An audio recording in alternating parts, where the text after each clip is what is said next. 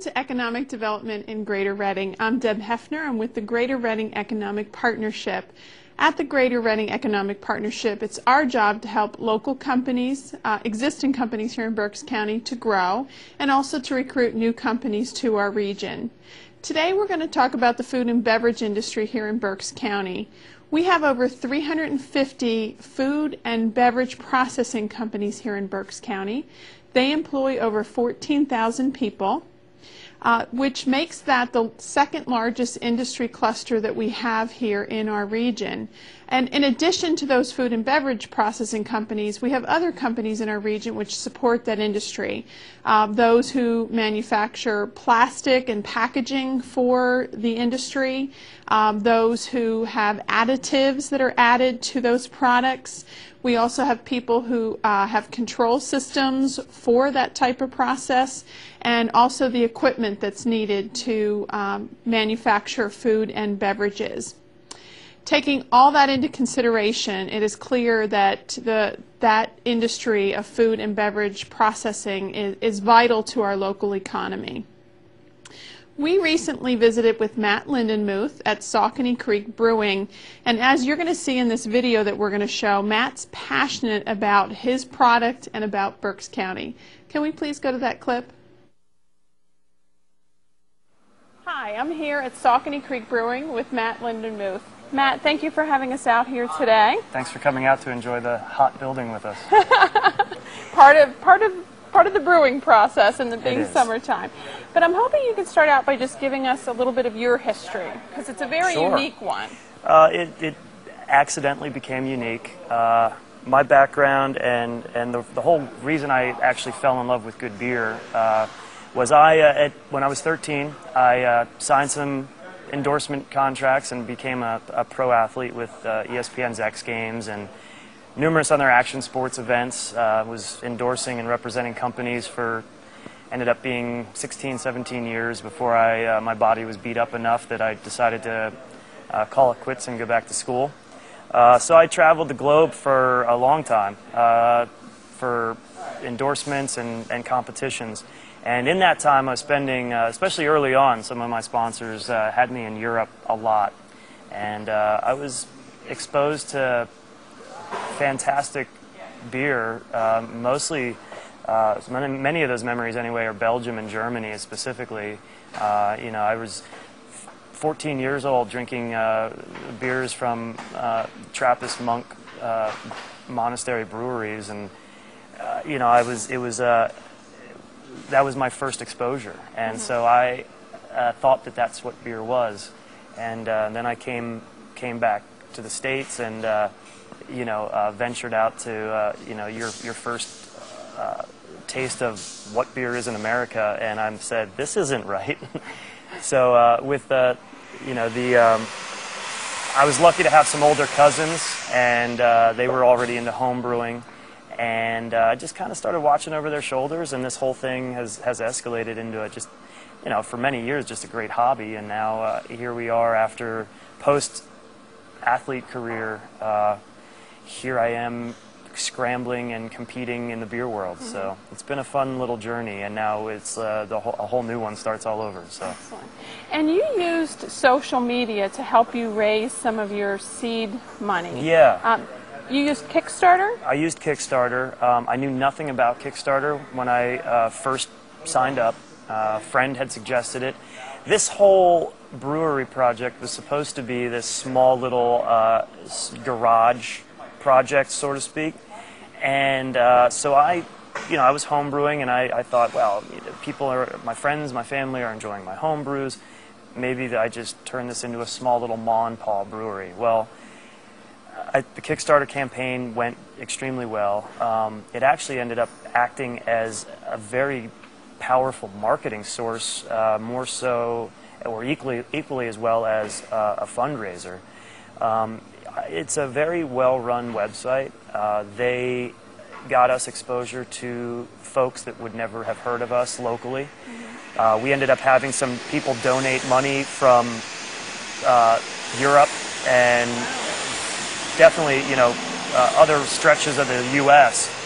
And I mean, social media in general right now is just made is very, very powerful. Our Facebook and our Twitter ends up uh, probably delivering more information to our, you know, our uh, fans of the brewery than our own website does. So, uh, Kickstarter tied in right, you know, right along with everything happening at Facebook and Twitter, and it was it was a killer choice for us. Uh, we ended up raising uh, nearly uh, $16,000 with about uh, 200 um, donators, and it was fantastic. We uh, we got everybody, you know, some sort of um, memorabilia piece for donating, and uh, hopefully a lot of people got mugs, and hopefully they, you know, end up bringing their mugs here to our brew pub once we open and get to meet all these folks that that supported us uh, very early on, you know, and now it's uh, so much has changed since that Kickstarter. That was almost a year and a half ago. Wow. And uh, yeah, it was uh, it was uh, March of uh, 2012. So it's you know we're coming up on a, a year and a half, and now we've we've moved locations, and uh, my small little half barrel pipe dream brew house is turned into a uh, one that's 30 times the size, and we're brewing into fermenters that are 60 times the size, and uh, you know. Um, I, my head's still spinning, but it's a fantastic ride so far. yeah. And I and I bet you know I say, wow, it's been a year and a half already, and to you it probably feels like a heartbeat because so many good things have happened in the last year and a half. You've had Yeah. some really great exposure. I'll say this in the last six months, since we've been able to open the doors and start brewing and distributing, things have moved very fast. Uh, there was the painful federal and state licensing process before that, and that dragged on for what felt like forever. But uh, every brewery in the country's had to go through it, and we, we played you know, we played the game and, and uh, went step by step, and, and everything worked out, and here we are. So now we're actually uh, preparing, now that we are up and running, like I mentioned a minute ago, we are preparing to get our brew pub open in the front of the production uh, brewery, which we're standing in now. And uh, once that opens, then we can have uh, guests come and visit and have, share a pint with us and, and hang out. So uh, that's uh, that's our next goal and, and agenda, and hopefully we can get that up and open uh, per, before the end of this year. That's that's the goal anyway. Excellent. Fingers crossed. One of the things, Matt, that I think you've really done that is very unique is, is your marketing. And I think that comes from you always being innovative and the things you brought to your sport professionally and in the way you're marketing Saucony Creek Brewery. You know, I read an article um, in the Philly beer scene where they talked about you arriving at the event in a canoe, paddling Yeah. down the Schuylkill with your beer in tow. I, I- I I almost was- made it with the beer in tow. Oh, you lost the beer on the way? I, capsized and we we lost the keg. It's at the bottom of the river right now. But yes, I did arrive in a canoe. Years from now, the next Jacques Cousteau will be in the Schuylkill Yeah. River with their equipment looking for that lost We, uh, keg of beer. We, we're planning some fun event to find it. Yes. We, we have general coordinates of where it went down. but yeah, no, I, uh, I appreciate that. That's a, a major compliment. Um, I, I, I did study marketing in school, but I, I uh, uh, really, through all the years of traveling and working so closely with the action sports world, as both an athlete and, and spokesperson, and tying it all together at the end here into something that is totally new for me um, has been the biggest and most powerful education source to me. Um, I come from that counterculture world of the action sports uh, and, and adventure sports genres where uh, and even some of the music genres of that have you know progressed through the early 90s and, and to current and those cultures did things so differently and um, against the norm that I didn't know any other way to do it. Um, that was just our way of having fun. And so we walked into this world, and the craft beer world is, is eerily familiar as far as uh, this is small brewers working very hard and passionately for something to sort of stand up against the big guys and, and, and the whole corporate structure of uh, your Anheuser InBevs and your Miller Coors. And they're saying, we all are saying that that's not beer as it should be. This is handmade craft beer with real ingredients that are delicately made and, and and handed off to you with a very personable note to it. And this whole thing has grown, and, and obviously the revolution for craft beer has exploded. And there's been many, many people ahead of us. Uh, everyone from Jim Koch at Sam Adams to Sam Calagione at Dogfish Head, who have blazed these trails so that little guys like us can do this. Um, they have done and gone through the, their painful education of telling all of us as patrons this is what craft beer is. So, you know, I, we owe, all of us owe a lot to those guys, and there's many more to list. But with that said, I was able to come into this and then, uh, you know, obviously tie in my history with action sports and say, hey, we're going to do something fun. We're going to do something even a little bit more different than what the rest of the craft industry is doing. And we're going to bring the cultures of um, the craft world, craft beer world, the action sports world, the music world. Let's bring all these things together because many of those folks that you'll see out on an adventure sport day, an action sport day, are sitting down and enjoying a very uh, artisanal beer. They're very, uh, you know, discreet and and interested in the finer things and a well-crafted item. These aren't guys that go and uh, go to the big box store to buy goods. They go to their small little shop and uh, support local in, in everything they do. So these things are all tying together, and it's exploding, not just for us, but for so many breweries around the country. And I think we just kind of jumped on at the right time. And you just said something about buying local, and you have Yeah. such, you, you're a Berks Countyan. I am. I grew up. I mean, I did. I grew up here, even though I spent so many years traveling everywhere, and, and I, you know, uh, living in hotel rooms for a long time. But uh, I, I always had a, a very confident sense that I was going to move back here and end up back here. Um, obviously for friends and family, but there's just something special about this area, and I, I love this area. I think that there's a, a lot of potential uh, with all the local craftsmen, farmers. Uh, just it's just beautiful country. So. Uh, as I came back, it was not just to let's just open a brewery. It was let's open a brewery that's going to highlight the area. Let's highlight these craftsmen and farmers, and, and not just farming. These are some natural, organic farmers, people that are really taking care of this stuff. That they're not just they're not just doing big bulk commercial farming. And there's some really, really cool things happening. And uh, how do we get all these people that may not normally sit around the same table and collaborate to come together and unite over something? And that's where, you know, this finely crafted pint beer glass becomes the social epicenter and, and centerpiece to all of us working together. Um, prior to this brewery opening and brewing our first batch of beer, I would have never met many of our Mennonite neighbors, uh, our other farm neighbors. Uh, they now take our spent grain from us, they feed their cattle with it, we share things back and forth. Uh, we use a lot of local ingredients from them, uh, as well as we have um, our, our own farm going in Oley Valley, uh, where we started growing our own malting barley. And we are doing a large winter batch of our malting barley, and then we will begin uh, malting here on premise with the agenda that next year, post harvest and malting, we will be able to release a 100% Berks County grown beer from farm to pint. Wow. So that hopefully, uh, as long as harvest goes well, yields go well, we're growing some hops locally uh, here in Berks. We're growing our barley here in Berks, and we'll be working on a, a wild farmhouse yeast uh, that we harvest here in Berks as well. That we will launch a beer 100% Berks County from the field that it grew to the pint glass that you're drinking it out of.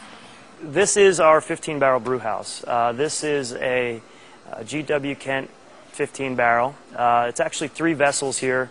We have two stacked on top of each other. Um, this is where the magic happens for us as brewers. Uh, our hands uh, get dirty in the, the, the initial steps. So what we do is we have our well water coming into what we call our hot liquor tank, which is the bottom tank. Uh, really, all we're doing with the water here is bringing it up to certain temperatures uh, per recipe that uh, at different times throughout the process we'll uh, introduce to the malted barley. So uh, this is all controlled on our steam boiler. We set some temperatures and we just let it do its thing. But uh, from the hot liquor tank, we introduce the malted barley to our mash tun. And the mash tun up here has a false bottom and a rake in there that's uh, nicely moving the barley around, keeping a, an even spread, and then we'll move hot liquor up and we'll start mashing. And uh, for extended periods of time and temperatures, we'll mash and extract uh, different fermentable sugars and proteins and enzymes from the, the barley to basically create our young beer or wort. Uh, at this point, it's just sugar water, no alcohol, uh, but we're getting those sugars ready to introduce to the yeast and fermentation. Prior to doing that, we transfer our wort over to the boil kettle. And the boil kettle is obviously just that. We bring the wort to boil. And this is where you'll see hop additions added uh, throughout different time periods of the, the boil. Uh, that will uh, offset the sweetness of the, the sugars in the wort and also add different flavorings uh, depending on the hop variety and the time that it goes into the boil. Uh, from there, we take our, our boiled wort and we basically, during that time, what we're really trying to do is concentrate the fermentable sugars. So once that's ready and prepared for the, the yeast, we take our wort through a heat exchanger and cool it down to 68 degrees. That's our magical temperature for our ale yeast.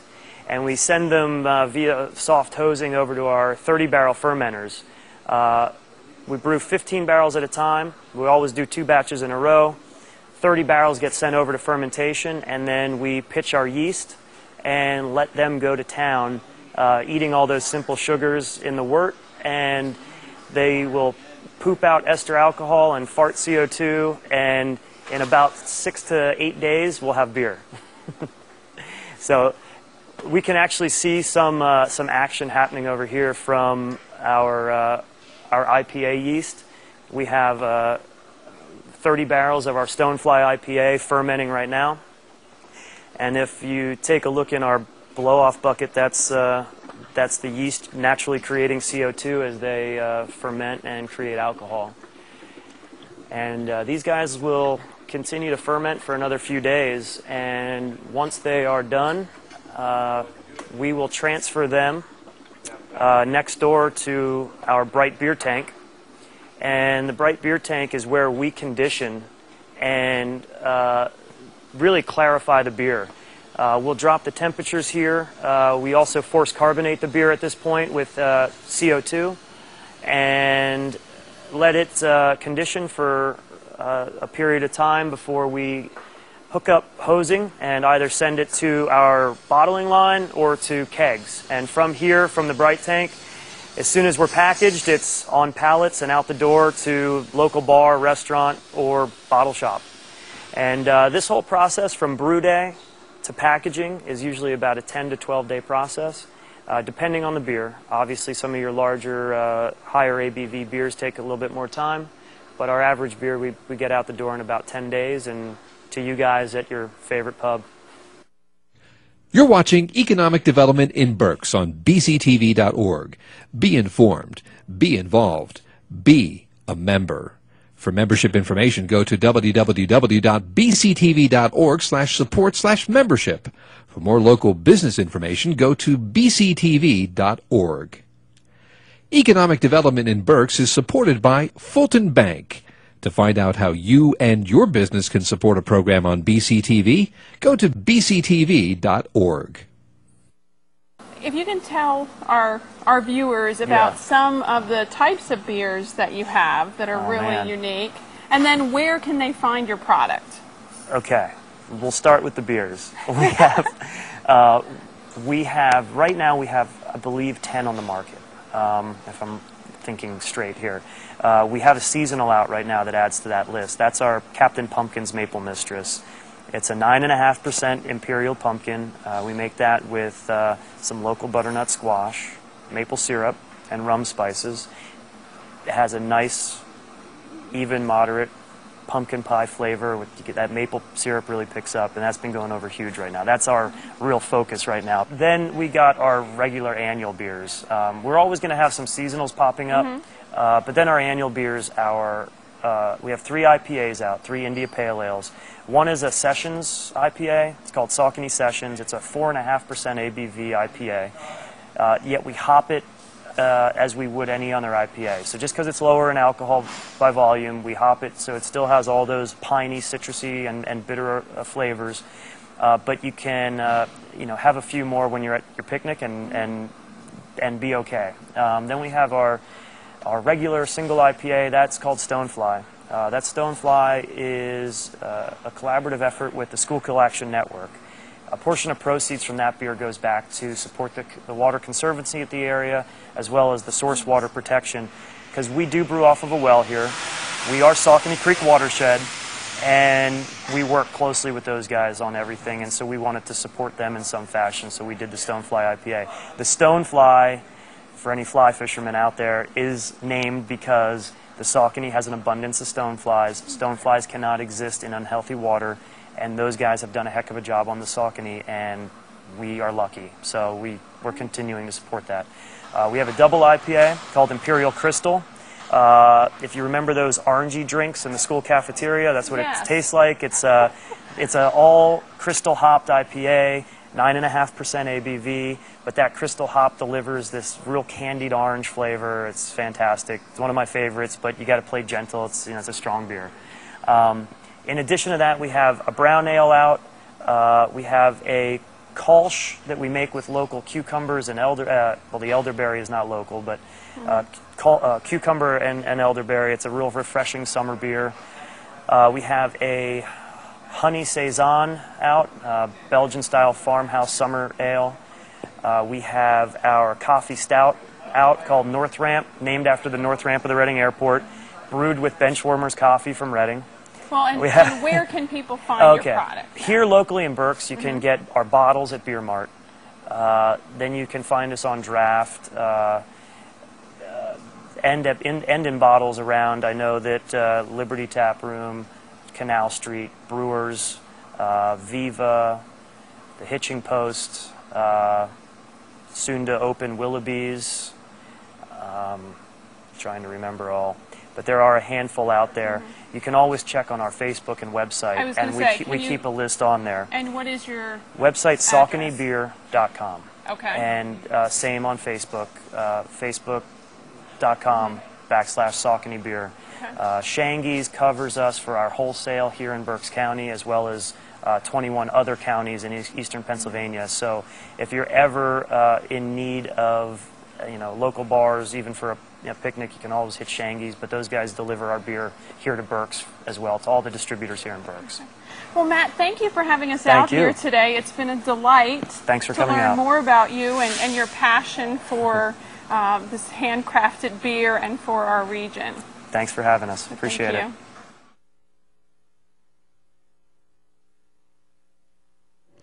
Off camera, Matt shared with me his number one piece of advice for folks who are thinking about starting a business.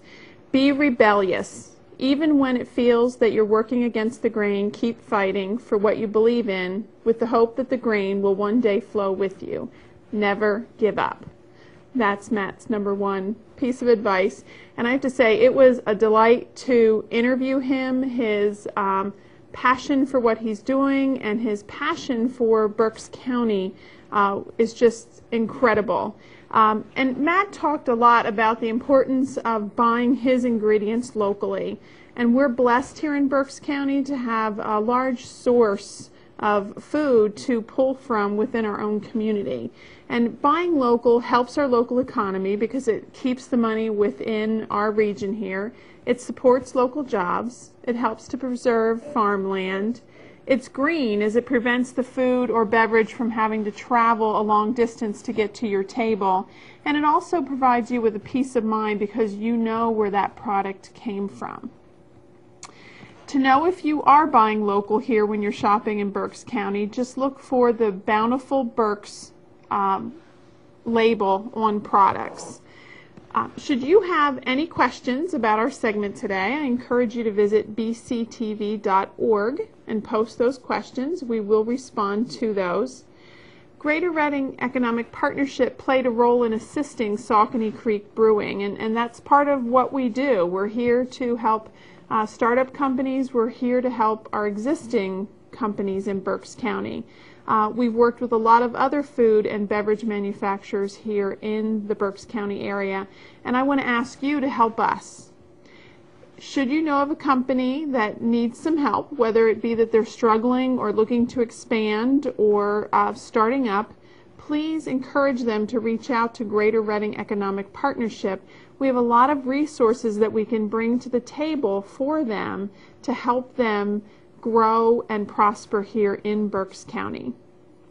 I'd like to thank Matt Lindenmuth from Saucony Creek Brewing for being our video guest, and I'd like to thank you for helping us be something greater.